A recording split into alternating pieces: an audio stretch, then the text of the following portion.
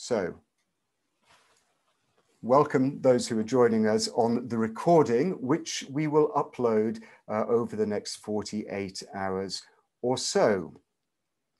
Okay, it's now my pleasure to introduce our guest speaker.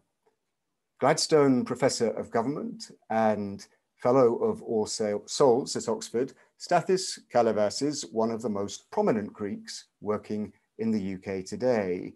He has had and continues to have a hugely distinguished career with professorships at Ohio State, New York, Chicago, and Yale universities in the States before he came to England. He's published extensively in Greek and English on his uh, specialist discipline on political violence and on broader Greek history and politics, not least on the Greek Civil War. His work is, if I may say so, as a non-expert, distinguished for its clarity of thought, its cogency, and its sound, good reason. Professor Kalyvas was last year's Runciman Lecturer at King's College London, and it's a great pleasure and privilege to have him here with us tonight. He's going to tell us why the Greek Revolution still matters today. Professor Kalyvas, over to you. Thank you very much, John. It's a great uh, privilege and honor to be uh, with you tonight uh, to share some thoughts about um, the lasting importance uh, of the Greek Revolution and War of Independence. And I'm going to uh, share a few slides that are going to help me go through this lecture. And here they are, and I hope um, they're visible to everyone. Um,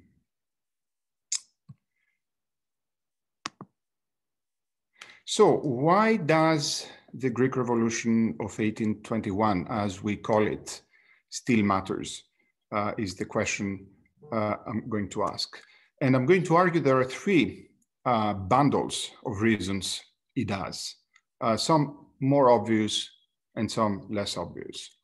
The first uh, bundle of reason has to do with uh, Greek history. The second one has to do with history as such. And the third one with the qualities of the Greek Revolution as a story, as an enduring story at that. So let me start with the most obvious point. For every Greek or for every person uh, who is interested in the history of modern Greece, the Greek Revolution matters and milestones matter uh, the second century uh, anniversary of its uh, eruption in 1821 is an occasion to reflect, to ask questions, to have public debates. And I have to say that uh, despite the pandemic, which um, minimized the extent to which public events could be um, held in Greece to celebrate those events, uh, we've been uh, witness to um, a lot of um, very important conferences uh, some spectacular uh, museum exhibitions uh, in Athens, which I very much recommend to every visitor, but also to a slew of new publications that have renewed interest of historians and other scholars to that event. Uh, and because reflection and investigation are never just about the past, but also primarily about the present and perhaps even about the future, uh, this is a unique opportunity to think about how um, the past of modern Greece connects with its, its, present and its future in novel ways. Um, and some of the things that I'm going to say today point in that direction. Uh, we've been uh, very privileged to have um, excellent new books, either just published or coming to publication, and a very, very interesting debate going on.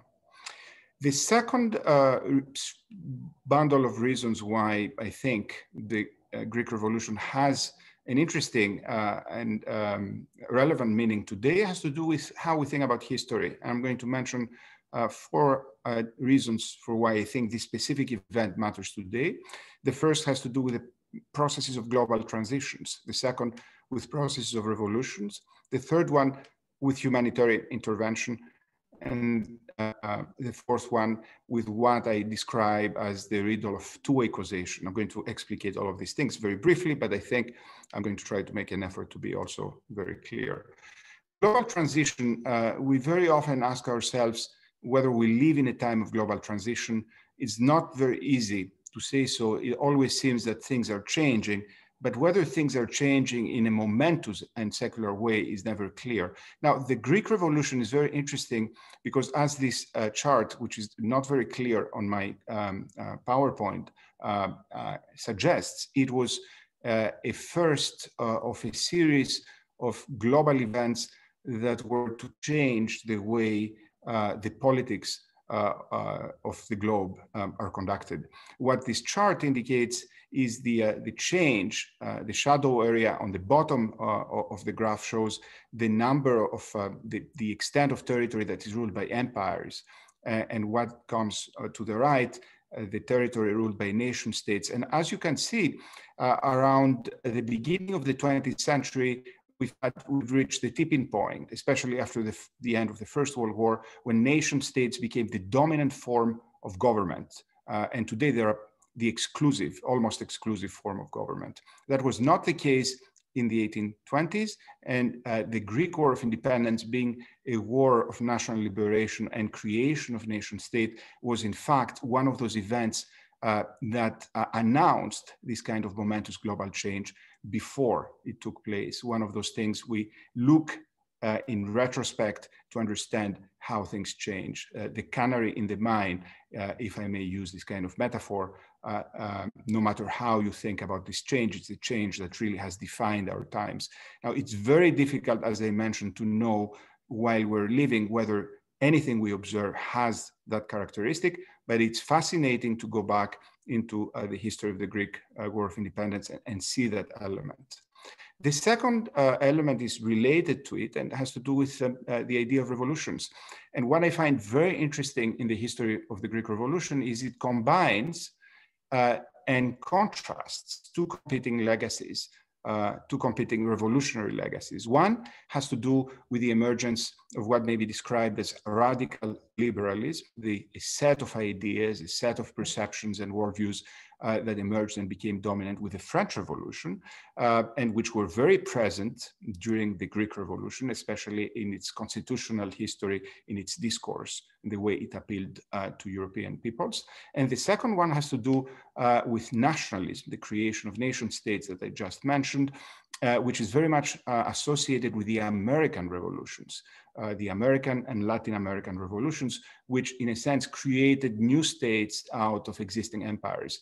The difference here, which I think is very interesting, is that the Greeks did not revolt against a colonial or a settler empire, but against uh, an empire of uh, an older sort, um, and, uh, and that was the Ottoman Empire. So it, we can say that the Greek nation state is uh, a post-imperial uh, state, but it shares a lot of similarities with post-colonial states, and therefore uh, we can think of uh, modern Greek history as also being um, a first, um, uh, giving us a first sense of how post-colonial um, states emerged, uh, especially in the aftermath of the Second World War. The third uh, dimension has to do with the way in which the Greek War of Independence was resolved, and it was resolved through a process that today we would describe as humanitarian intervention.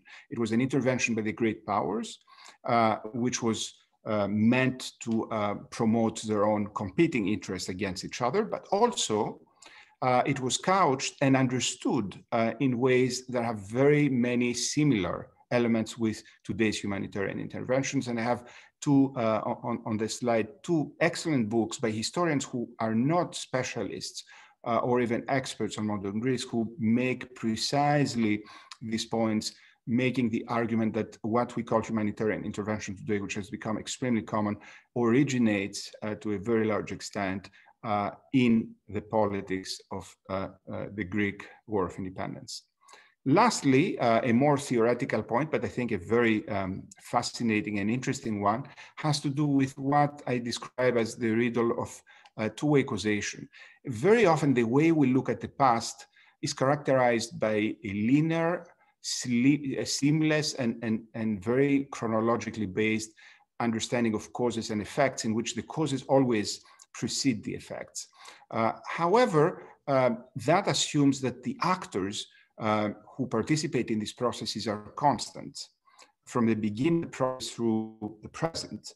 And very often what happens is we project back into the past uh, precisely uh, those actors. Uh, and therefore we ignore how cause and effect are much more intertwined and not as linear as we would like to think. And I'm going to illustrate that with a very simple example uh, for about the formation of the Greek nation, which is both the cause uh, of the Greek revolution, but also its effect. Um, the national narrative, um, the standard history of, of the Greek uh, revolution goes a bit like that. Uh, the Greek nation is suppressed with the collapse of the Byzantine Empire. Uh, Greece is occupied. The term that we use in Greece to refer to that period is the Turkish occupation. And then in 1821, the Greek nation wakes up from slumber, rises up, and in 1832, it achieves uh, officially sovereignty and independence and forms the modern Greek state. So that's the national narrative in which we can see a seamless process in which the nation, the Greek nation, is the actor, the constant actor through time. Uh, historians and other scholars who study this process have uh, raised a, a number of concerns about it but it remains a very popular understanding of Greek history. This is a detail from a popular painting in the city of Nafplio and that depicts this uh, seamless, continuous uh, story uh, of modern Greece as a story of the Greek people um, in a sort of seamless way. You can see Byzantine emperors, uh, you can see uh, the church, you can see uh, the fighters of Greek independence, and you can also see the, the fighters of Greek resistance. And there is also a British soldier uh, in the Battle of Crete. So everything is amalgamated. Uh, however, there is a more complicated narrative that is closer uh, to reality, which is uh, that those causes and effects are much more complex and related to each other in a much more complex and I think fascinating way. The story here goes uh, starts as a revolution in ideas in which various cosmopolitan, uh, commercial, and other elites, uh, Greek speaking elites of the Ottoman Empire, develop a nationalist ideology as a result of that, plan an uprising uh, as a result of those ideas, connect with local elites on the ground, which leads to Greek War of Independence and creates, in a way, uh, the modern Greek nation and that narrative uh, is, in a sense, a story about how the Greek nation is as much the creation of this process is born through the Greek Revolution as it is the process and the agent that leads uh, to this uh, uh, to this result. I'm going to conclude by moving to the third uh, bundle uh, of reasons why today we should um, be uh, looking at the Greek Revolution uh, with a lot of interest. And this is because the story itself is a fascinating story. And I was reminded of that uh, by uh, precisely reason number one, which is the bicentennial. I read a lot because uh, it was the thing to do uh, this year. I reflected a lot and I learned a lot. And it's a fascinating story uh, with endless um, layers that we think we know and, and very often come to new light when we look at them uh, in a more uh, uh, careful uh, and focused way. So I'm going to mention a number of aspects. I'm going to, to discuss the idea of um, the uh, an uprising against all odds, uh, the idea of winning by not losing, the idea of marketing, the idea of influencers, and the idea and the um, process of being, uh, in a sense, lost and, and confused in translation. Um, these are ways to describe those very interesting, uh, and I'm sorry about humanitarian intervention, just forgot to remove it. Uh, one of those interesting aspects of um, uh, the story of the Greek War of Independence. So uh, it's a story, first of all, uh, of a plan that is designed and launched with almost zero probability of success. It's a crazy idea uh, designed. The design and the plan of the Greek Revolution uh, bears very little resemblance to its reality, and yet uh, it's it's a it's a plan that eventually comes to fruition, not as imagined, uh, not uh, as easily perhaps, uh, but it comes to fruition, um, and that I think is a very inspiring story of um, unintended consequences of how launching uh, a plan very often uh, produces its realizations through pathways uh, that nobody quite imagined.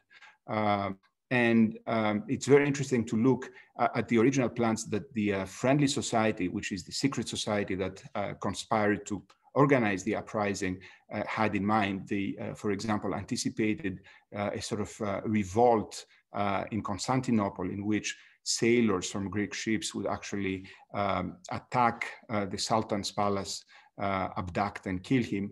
Um, and ideas that were very, very far removed from reality, including uh, the initial plan, uh, the, uh, the, the, first move of, of the uprising in February of 1821, which was uh, an invasion and land invasion of the Ottoman Empire uh, in what today is uh, Moldavia from Russia, which didn't succeed. But the process of organizing this crazy plan is what led to its success through the creation of a unique uh, network of individuals who had not been connected together before and came to be connected together through precisely that plan. The second one is, uh, in a sense, the discovery uh, uh, of a very important dimension of uh, insurgency and civil war that uh, Mao Zedong, the famous Chinese revolutionary and statesman of the 20th century came across, which is the idea that um, a lot of uh, wars of national liberation are in fact wars of attrition. It's something that sounds trivial and obvious, but wasn't. Uh, and the idea is here that uh, the point is not for rebels to succeed uh, by overpowering uh, the states uh, they rebel against because they're so much weaker than them, but by resisting, imposing enough cost uh, or bringing new actors into the game so that uh, the stronger states eventually have to compromise to sit uh, on a negotiating table and agree on an outcome uh, that is favorable to the rebels. And so this idea uh, of uh, resilience, which we're going to encounter again and again in the course of modern Greek history, is a part of the narrative of uh, the creation of, of, the modern Greek state that I think uh, sometimes is forgotten, but is absolutely essential for understanding how that process operated. The third one is selling your idea, your project, your plan to an international audience, what I call marketing. And, the Greeks were extremely good at that, but it was not something that was easy. And the reason was because there were competing ideas, and uh, the Greeks themselves did not always agree on which one was or ought to be the dominant one. Uh, the um, initially dominant idea was the idea of liberalism, which is what, uh, in a sense, um, animated uh, the friendly society. A lot of the early uh, Greek revolutionaries, especially uh, the historical figure of, of, of Rigas Velestinlis. Um, and this is the idea of liberalism, the set of ideas that emerged uh, in Europe um, and uh, North America uh, at the end of uh, the 19th century, the beginning the, of the 18th century, the beginning of the 19th century that gave rise to the French Revolution. Uh, and these were the ideas that almost buried uh, the fate of the Greek Revolution, initially because it was perceived as a liberal revolution and therefore dangerous for the uh, status quo uh, of Europe post-Napoleonic order. The second set of ideas has to do with Christianity. We very often forget um, that uh, what differentiated or what made Greeks was not so much language uh, as it was religion. Uh, and the, uh, the rebellion against the Ottoman Empire had a very strong religious dimension. The cross is, in fact, the national symbol of the Greek War of Independence and the Greek state after that. And it was, in fact, um, the idea that Christians were slaughtered by Muslims that mobilized uh, a lot of public opinion in Western Europe uh, governments and um, uh, provided a, a, very big uh, input in mobilizing the great powers to intervene and to justify their intervention. And, and, the third one, of course, has to do with something completely different, and this is the idea of antiquity through the power uh, of the Greek past to, uh, in a sense, fire the imaginations uh, of European and American uh, North American publics by, in a sense, sending the message that antiquity was coming back in a way that the descendants of ancient Greeks uh, were again making a claim to exist as an independent nation. Um, and I think a, a very interesting uh, way to think about that is to look at the figure of the military leader of the Greek War of Independence, Theodoros Kolokotronis. Uh, this is uh, a faithful depiction of how he looked like uh, during those years. He looks like a traditional fighter of the Peloponnese. He was, in fact, bef before becoming a fighter for the Greek independence, a mercenary soldier, and before that, what we would describe today and what was described then as a bandit. Uh, but his famous portrait since uh, is different, is the one in, uh, where he wears uh, a helmet that um, brings back the idea uh, of ancient Greece. Uh, and also on, very prominently on, on, his helmet, you can see the cross. So it's an amalgamation of those ideas. And that shows you how a battle, the battle of ideas, marketing, internationally is essential for these kinds of processes and remains so. We're moving to the third uh, type, the influencers, uh, the people who, whose role um, essential uh, for spreading those ideas, popularizing um, a cause uh, and making uh, uh, sure that this cause receives the sort of attention uh, that its proponents believe it deserves. And of course, Lord Byron is a fundamental figure in that respect. It's very difficult to understate his importance uh, during that time and, and how his death really uh, played a very big role in publicizing the Greek cause. Uh, and the only uh, person I can think of in modern times who has had a similar role for a number of different cause, causes is, of course, um, the well-known singer Bono. So the Greeks were very lucky to have such an ally who was a global influencer uh, of his time.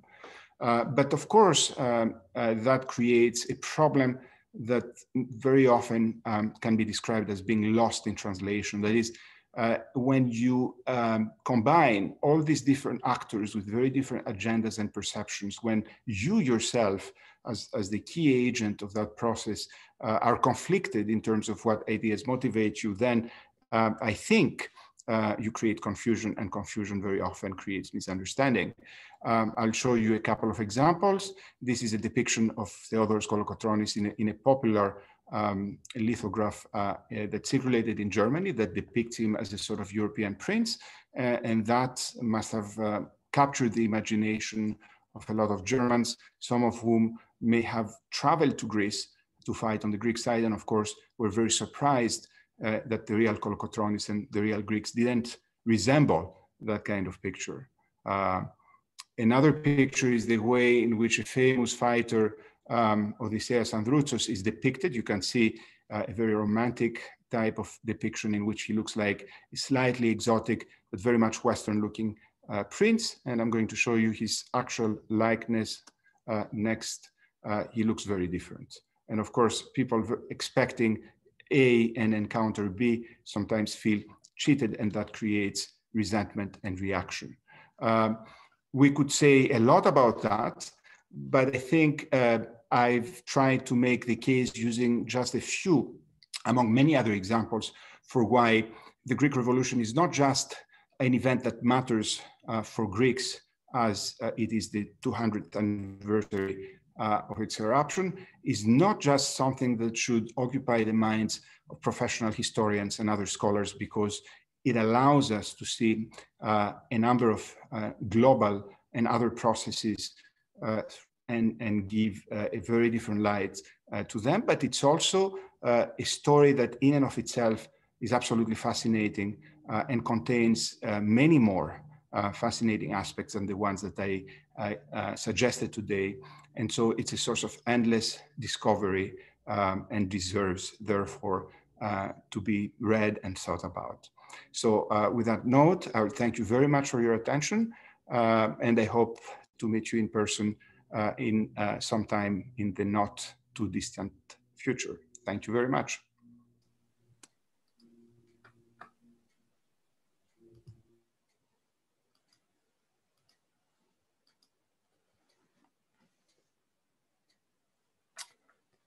Thank you so much, Professor. That was absolutely fantastic. Um, let me see if I can just. Uh -huh. uh, well, I asked Professor Kalyvas to address this, um, as he calls it, fascinating story with endless layers in just 15 minutes. I thought that was a preposterous challenge, but worth, uh, worth attempting. Uh, I can't think of a better uh, way of spending 15 minutes as a brilliant snapshot, a brilliant introduction uh, to why the revolution matters. Uh, thank you so much uh, for that. Um, I, I, promised uh, you and the other speakers that I wouldn't um, uh, discourse uh, on this subject greatly at this point. I'll have the opportunity to come back at the end to, to thank you properly, but uh, uh, that was uh, everything I hoped it would be, and I'm sure the audience thoroughly enjoyed it too. So many thanks for that. It's now um, my um, opportunity to turn to the Runciman Award itself. Uh, this year, and I'm not going to take too many words away from uh, the chair of uh, the panel, but this year uh, we increased the panel of judges to five, uh, trying to ensure that there were there was always um, some group in a majority if we needed to to act in that way. And so this year we welcomed Sofka Zinoviev to the panel for the first time. In addition, four old hands, if I can call them that, with uh, a lot of respect. Uh, five old, four older hands returned. Uh, Judith Mossman, uh, Dionysius Kapsalis, uh, Nisha McSweeney, and Peter Frankopan. I'm grateful to all five judges. Um, they're not uh, paid for this tough work, um, and they did so with great enthusiasm and fantastic expertise. This year's chair is Peter Frankopan, the author of Silk Roads uh, and New Silk Roads, well-received books on Byzantium and the Crusades. He uh, needs absolutely no introduction from me. And he's here uh, both to tell us about this year's competition, as seen from the uh, judges' seats, uh, and to announce the winner. Peter, over to you. Uh, thank you, John. Well, let me start also by thanking Professor Kalyvas. That was that was absolutely terrific.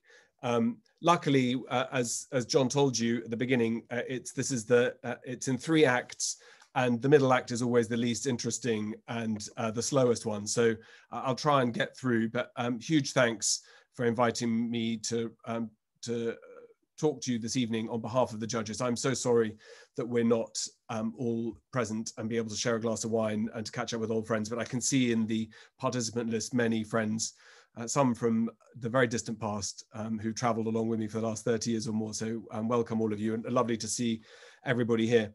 Um, as John said, um, being on a jury, it, it, requires the generosity and eloquence of, of many people, particularly the, the other members of the jury. So uh, Sofka Zinoviev, Dionysius Kapsalis, Nisha McSweeney and Judith Mossman have, have made this a real, a real pleasure uh, to be part of a committee like this. It's terrible having to choose between outstanding books, um, but we we did so while remaining friends and laughing the whole way through. So I'm very grateful to each of them for the time they put into um, reading the books and thinking about them, and then discussing them in, in, a way that was both collegiate, convivial, and I think very stimulating too. So thank you all all for that.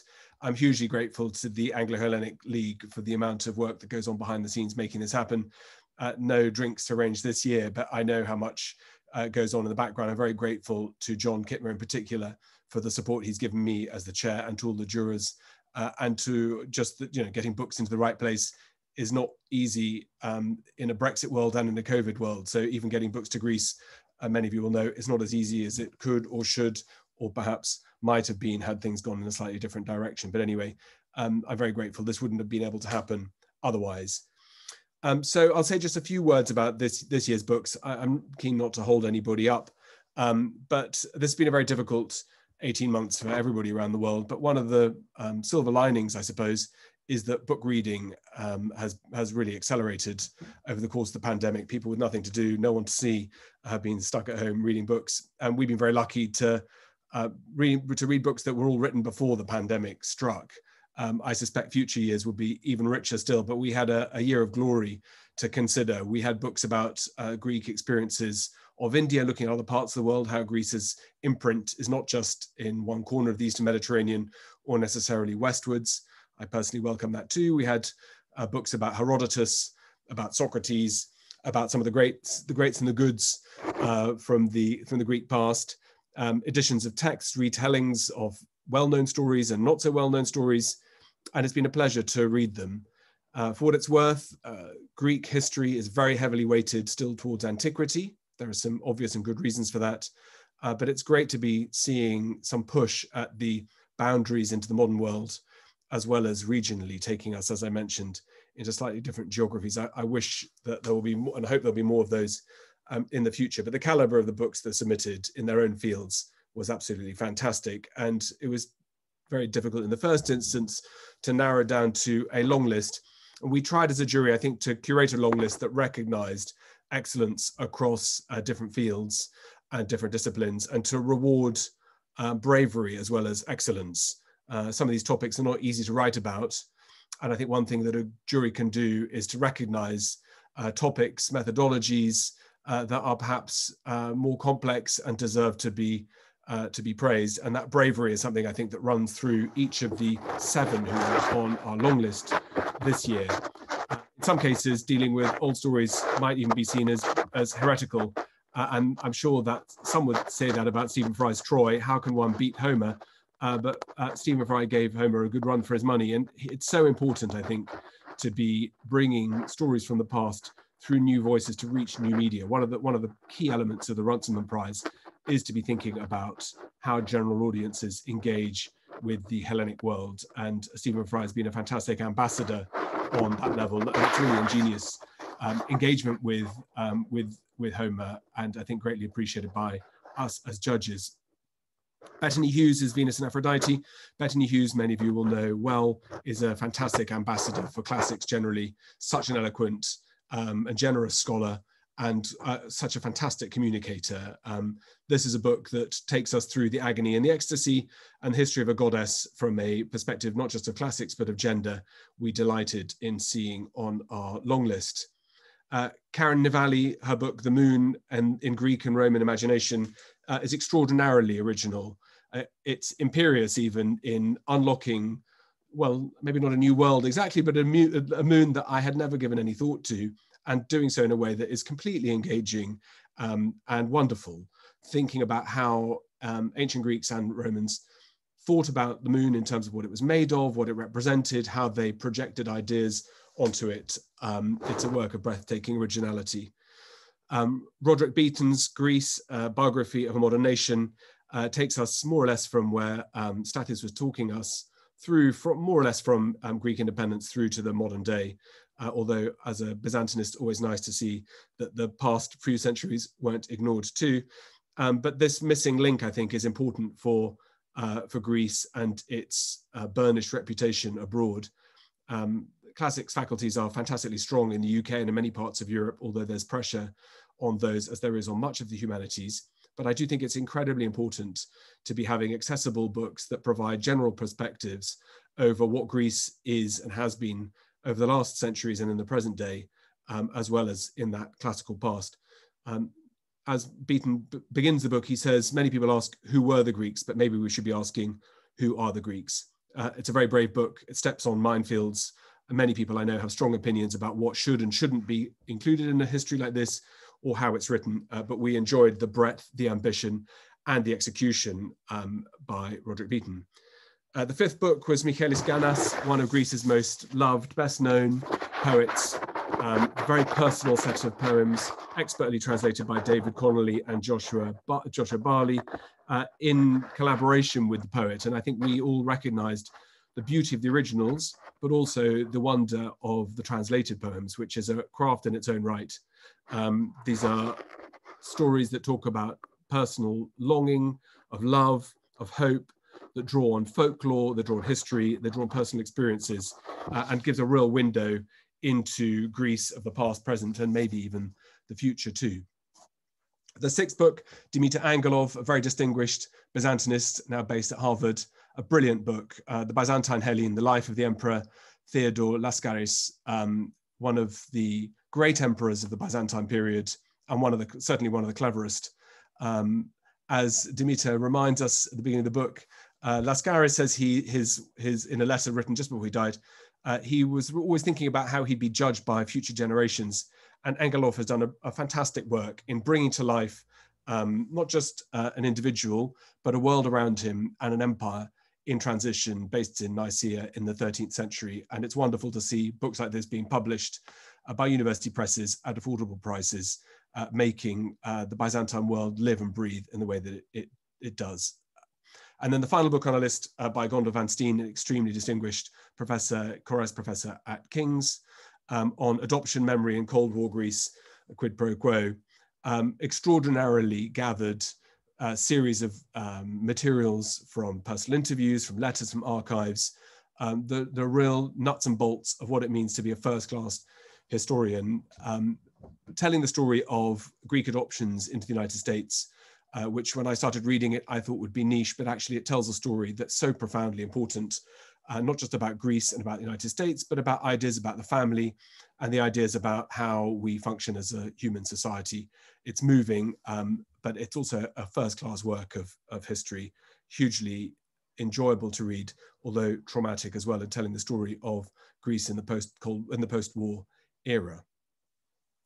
Uh, it's impossible. It was almost impossible. Well, it is impossible to choose between books like this. I think it's fair to say that each of these um, would have won a prize if the rubric of a uh, of the competition was set up for their category. Each one is a work that will be read in um, in many years to come, and that's a real testament to their authors and, of course, uh, to their publishers. Uh, John Kittmer is, is, too modest to say that he one of the things he does so well is to make sure that publishers realize that if books are going to be entered and have a chance of winning a prize like this, aiming at general readers as well as scholars, they do need to be produced at affordable prices. And um, speaking, I think, on behalf of academic publications, some of us find it very hard to understand sometimes why cover prices of books that are so good as this are put out of the range, range of normal buyers. Um, as it happens, through John's interventions, we've had some very successful um, movement, I think, on some of these areas. And I think all of those on this call, and those of you who both write or read books, uh, I think it's important to, to say how much you enjoy reading them uh, in the hope that more and more people can, um, can have access to these books in the future. Uh, as I said, each one of these books is a, it would, would win a prize. Uh, we were we were reminded, and I reminded the jury uh, regularly about Sir Stephen Runciman, after whom this prize is named, and and how the thing that I suppose Runciman did that was most important was to open doors that other scholars have walked through. Um, many of my less generous colleagues will point out Runciman's flaws, his weaknesses, uh, his lack of dealing with the sources in a way that perhaps in 2021 we would handle them. But I think that ability to uh, open up new perspectives is one that is really hard to do, and it's really hard to do well and hard to do with generosity. So I think we as a, as a committee try to think about which of these books would encourage more work to be done, which would shine lights into areas that perhaps needed some more light shone into them. And as I mentioned, uh, each of these could do that. But after considerable discussion, a lot of um, heartfelt conversations, no tears, uh, and no major disagreements, but talking things through so that we all reach the conclusion together. I'm delighted to announce that the winner of this year's Runciman Award, administered by the Anglo-Hellenic League, is uh, Roderick Beaton's Greece biography of a modern nation. So hopefully, Roddy, you're here. And now over to you. Peter, what can I say? Um, I am overcome and uh, thank you for your, your kind words, your judgment, uh, the, uh, uh the wise input of the, your fellow judges that you spoke to us about. And can I take this opportunity also to uh, thank most warmly John Kittmer and all the wonderful things that I too have a pretty good idea uh, must go on behind the scenes in the Anglo-Hellenic League to make this possible. Um, and also, um, it was a marvelous occasion uh, this evening. I loved the presentation that Stathis gave us earlier on a subject that could not be more appropriate to the um, 200th anniversary of the Greek Revolution. Um, and as, as, it happens, um, he and I have a great deal in common in the way that we approach uh, the subject that is dear to us both, namely the recent history of Greece. To win the Runciman Award has to be the ultimate accolade for anyone who loves writing about Greece and the Greek world.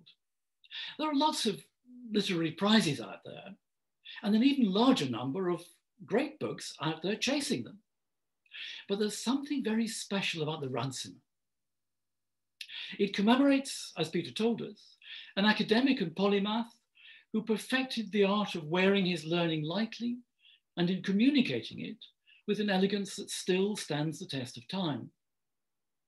But not just that.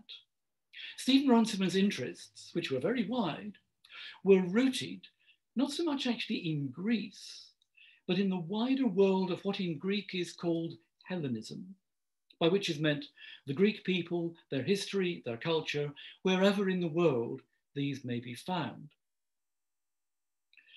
To win the Runciman once may therefore be considered the greatest good fortune for a Hellenist. To win it, and I have to confess this, well, more than once, in the words of Oscar Wilde, looks like carelessness. Here, I can only blame the judges, who must have known what they were about, and that this particular contender has been here before, I confess. Let me, however, thank them from the bottom of my heart for their carelessness. The honour is all the greater this time because, as you've just heard, a bumper crop of books published over two whole years came before their scrutiny this time. It was already a great honour to be listed among the 21 titles in this anniversary year, get it, 2021, in an impressively heavyweight long list. It must have been a hard task to whittle down those 21 to the seven that made it onto the shortlist. And when that list duly came out, I was thrilled to find myself in such distinguished company. So allow me please now to extend my warmest congratulations to all the authors and the translators that you just heard about, with whom I'm most proud to rub shoulders on this year's Runciman shortlist. Judges, I don't know how you managed to pick a winner, and I'm immensely grateful that your choice has fallen on my book.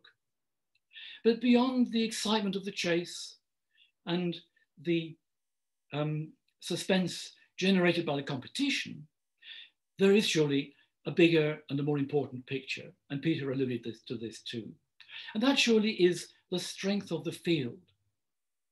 There can never have been so many different kinds of books produced in English about Greece and the Hellenic world, with such an array of different interests and powerful talents on display, as in this anniversary year of the Greek Revolution of 1821.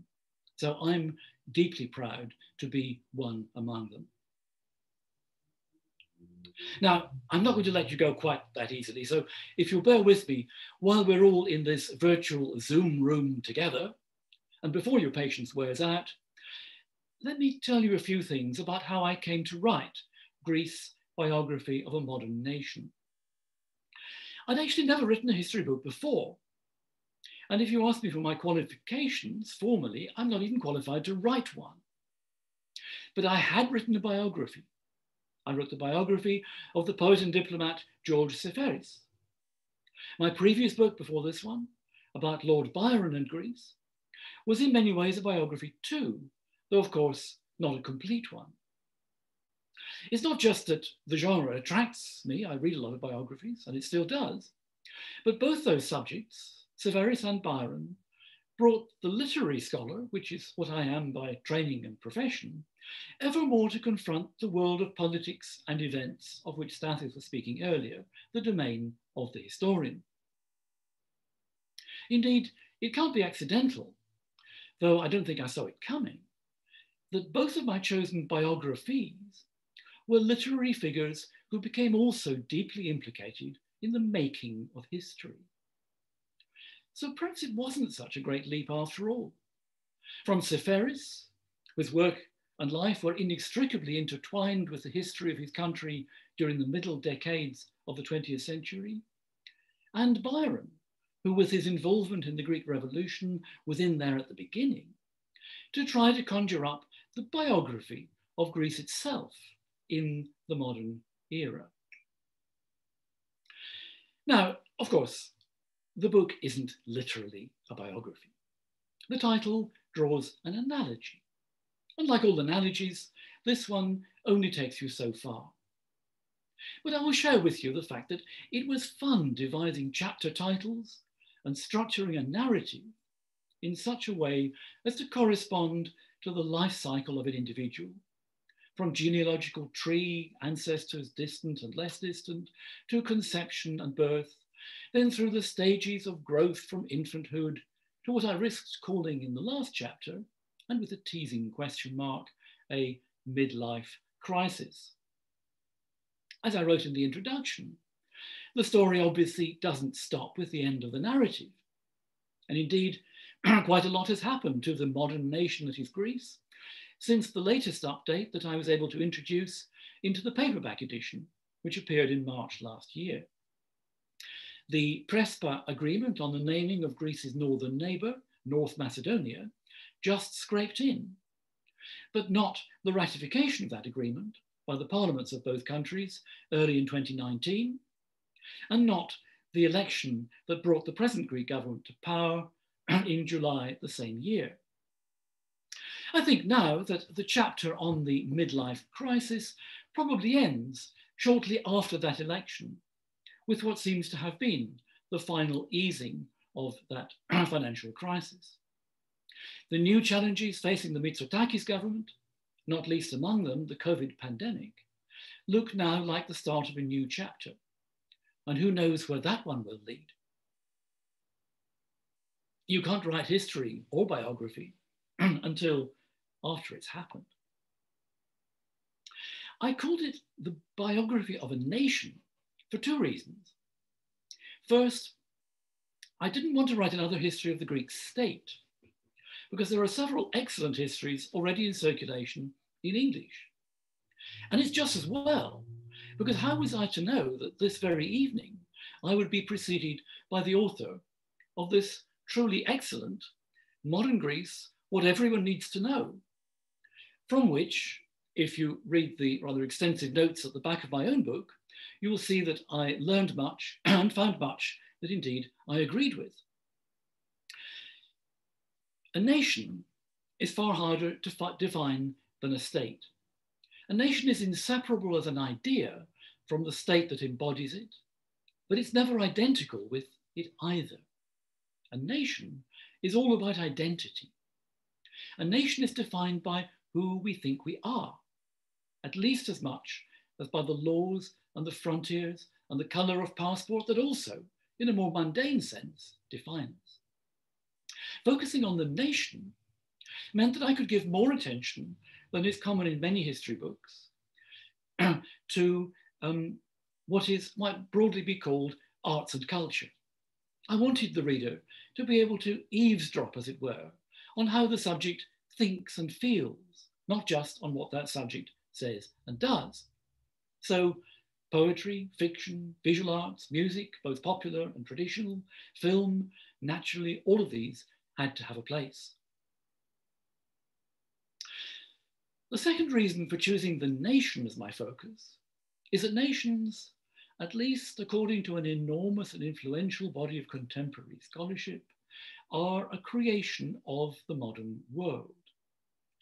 The ideas on which nations are founded were established during the European Enlightenment of the 18th century, most prominently perhaps by the Swiss Jean-Jacques Rousseau and the German Johann Gottfried Herder. This, I know very well, is contested territory the deliberately narrow definition of a nation that I chose to adopt, as I explained in my introduction, is not the only one available. On the contrary, since the middle of the 19th century, which was, of course, the heyday of nationalism throughout Europe, Greeks have been accustomed to trace the history of their own nation from the very earliest records of the Greek language, through the civilization that we still call classical, through the Byzantine millennium and the interval of Ottoman rule, up to the culmination in the creation and development of the nation state in the 1820s and the 1830s, of which Stathis spoke so eloquently before. Now, I've no quarrel with that story, far from it. Indeed, I've been doing my best to retell it for the benefit of a non-Greek readership not brought up on that way of telling the story in my new book, which will be published later this year. but the story of Greece as a modern nation, by which I mean as a nation created in the image of the ideas of the European and yes, also the Greek Enlightenment, can only be a story of modern times. And the achievement that I wanted to stress in writing this book is the astonishing success of the Greeks by feats of arms and also of persuasion, first in winning and then in maintaining the independence of their nation state, which indeed is why, as we heard, the Greek War of Independence or Revolution of 200 years ago really does still matter today. Greece was the first such state to be recognized on the European continent after the Napoleonic Wars. And that, let me just insist on this a little bit, was the achievement of modern Greeks in modern times, not the achievement of their long dead ancestors, however glorious, long ago. It's a well known fact that the ancient Greeks, for all their genius in so many spheres, never succeeded in creating a unified political state based on the Greek language, Greek customs, and common laws. That was left for the moderns to achieve. And in doing so, in the 1820s and the 1830s, those modern Greeks also happened to lay the foundations for the Europe of nation states that we know and live with today. My book is meant to record that and many other achievements of Greeks in modern times, along with the tragedies and some of the human suffering that have all too often accompanied them along the way. I wouldn't claim that calling it a biography necessarily changes our understanding of events and their causes, but Stephen Runciman was not only a great historian, he knew how to tell a good story. And I hope more modestly to have told the story of Greece as a modern nation in a way that readers will enjoy. In that way, I'd like to think more people who may know or care little about the subject may be drawn to learn about Greece and the Hellenic world, the very subject, surely, that brings all of us here together this evening. It's a real privilege to be with you, to be giving this short talk now. I really had not imagined that such a thing would happen. Um, here we are in this rather strange cyberspace. Let me raise a glass metaphorically to you all and to thank the judges and the Anglo-Hellenic League one, most warmly once again. Yamas σας ευχαριστώ για την ακρόαση. Thank you for listening.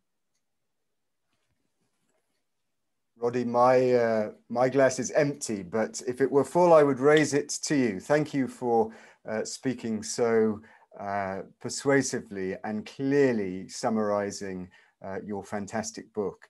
Let me uh, add my own uh, congratulations to those of Peter for this record-breaking win. You have been uh, very modest in uh, your acceptance speech, um, but to be clear to for all the benefit of all of the audience, um, you are now uh, you were the only person ever to have won the Runciman Award three times, and now uh, you are the only person to have won the Runciman Award four times. If there were, which there isn't, a Runciman Cup, I fear I would be now giving it to you permanently and commissioning a new design for next year's award. Luckily, I'm in the easier position of uh, posting to you tomorrow morning a certificate uh, in the post uh, and arranging uh, the transfer, uh, thanks to our sponsors' generosity, of uh, the prize money. This is, it is a fantastic book and a great choice by the jury in this uh, year where we're all celebrating uh, the bicentenary, the liberation of the Greek people, the foundation of the modern state. Um, so my own congratulations are really heartfelt. I think it's a, a, fantastic winner in what was, as Peter and you yourself have said, a truly, truly fantastic field this year. Now, um, I have lots of people to thank, but I am going to do it in a, a concise and disciplined way.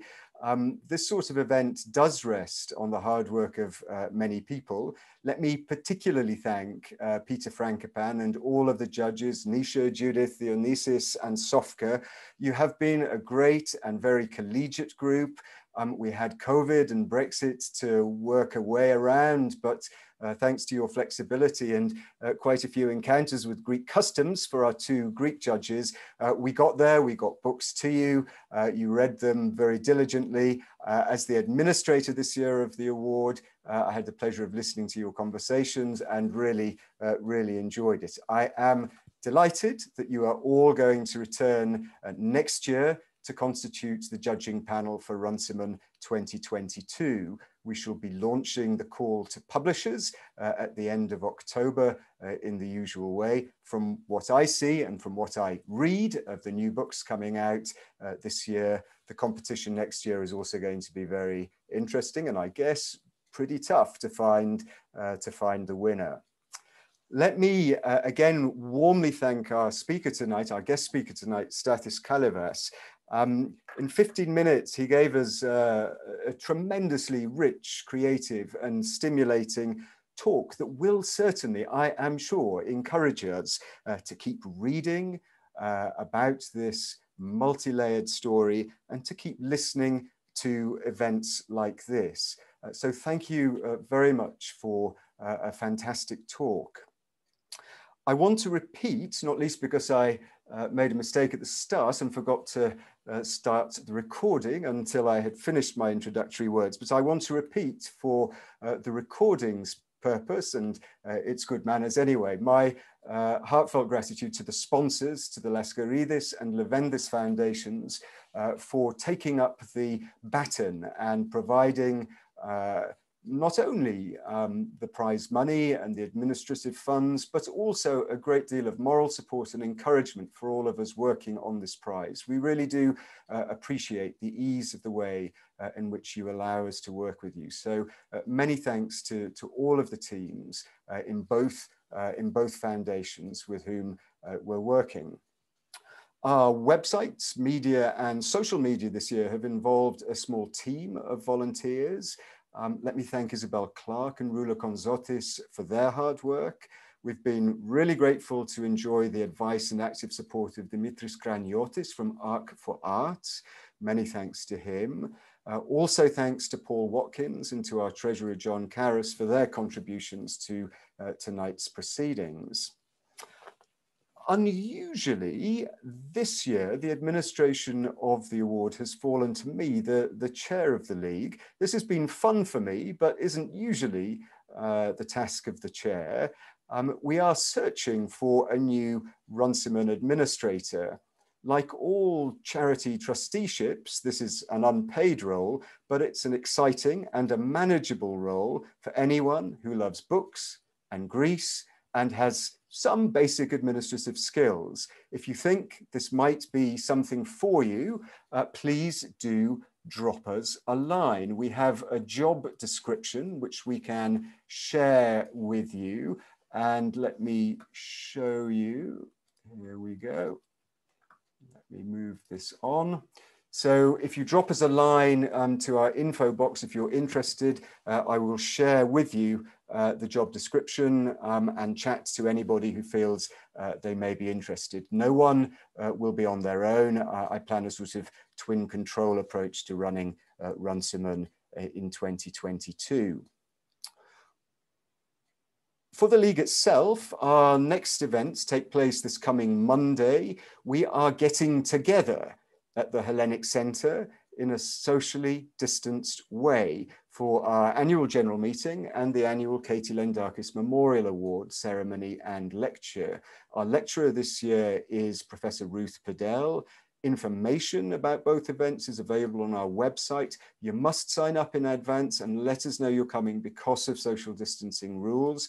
Um, of course, we do hope that people will come. We already have an audience uh, for both, but there are there is still space for some additional uh, additional names. Uh, again, please uh, drop us a line to the uh, to the info box. It is uh, great to be able to start gently uh, returning to events. Alas, we can't hold uh, uh, a reception uh, after the Katie Lentakis um, award ceremony, but we can at least uh, say hello to people with our masks and standing and sitting the right distance apart from each other. Um, don't forget also um, to keep following the 21 in 21 program uh, for UK events celebrating the bicentenary. It's very easily found uh, through a Google search, just put in 21 in 21. Uh, the program is really rich in the autumn. Um, there are some great events coming up, some in Edinburgh, some in London, some elsewhere. Please do uh, follow it uh, closely because uh, Stathis Kalyvas has said to us, uh, this is a subject which really repays um, reading, learning, investigation. So please look out for what's coming, coming our way. Let me close by just thanking you all very warmly. We've had a good uh, audience tonight. Um, uh, which has been appreciated. It's a shame that we can't uh, interact with you. Um, we really do hope in the autumn uh, that we'll have live uh, in the flesh events at the, at the Hellenic Centre without social restrictions. So we will keep our fingers crossed. In the meantime, on behalf of all of the council, I wish you a safe, healthy, relaxing summer. Thank you to everyone who has participated tonight. We're at an end. Kalo kalo keri. Good night.